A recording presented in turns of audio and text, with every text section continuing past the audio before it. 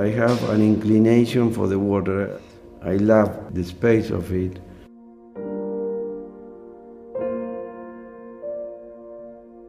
I, am also an art collector, but I'm not obliged to buy. I mean, if a masterpiece appears, then I buy because of the masterpiece, because of the piece itself. It's the piece who commands the decision. As a real estate developer, it's the same. I'm not obliged to develop.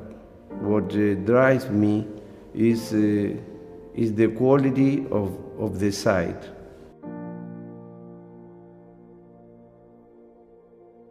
I did have two frontages of great value, and the building had to reflect those forces of nature in some way.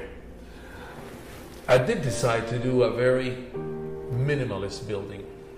I didn't want some extreme form that competed with these forces.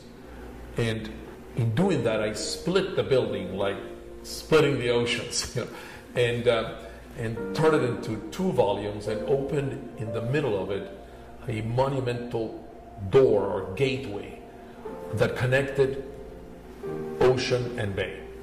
And that became the centerpiece of the project.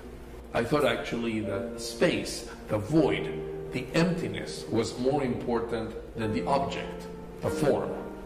And that, in fact, maybe the form should fade away and focus on this grand space that symbolizes that linkage.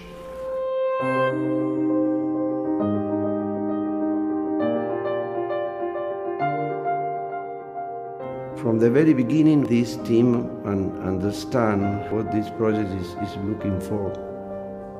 They are citizens of the world. Uh, they share uh, the sophistication and the aesthetic the love of creation, the perception of, of the whole.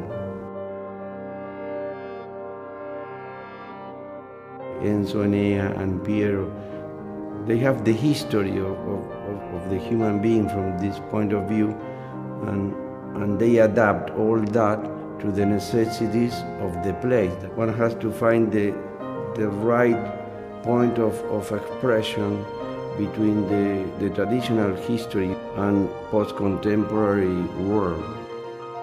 I'm a modernist architect. I never think to do something traditional. Traditional means I never working for the marketing research. I'm working for a private taste. The people they choose me because I'm in that way quite precise.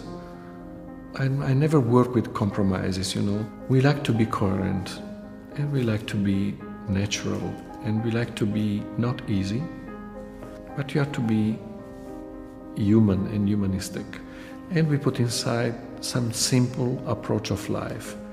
You, you are to increase the neighborhood, you are to increase the boundaries, you are to increase the community. What we do is we bring another uh, proportion into it with the garden, with the outdoor space that interacts with the place, creating microclimates and using trees as uh, shadow, lighting, and we mix together architecture towards art to create uh, interesting space. The space demands the design. I think that art is integrated in our life and, and it's an important proposition within Oceana. Oceana Bal Harbour, I think, is a fantastic uh, example of how art uh, can function. And uh, people aren't always able to give uh, sculpture that opportunity to display itself. To be able to design architecture that gives a place, an emotional home for art, where it's really part of the essence of the location. And uh, it's a place where artworks can really interact with residents' daily life.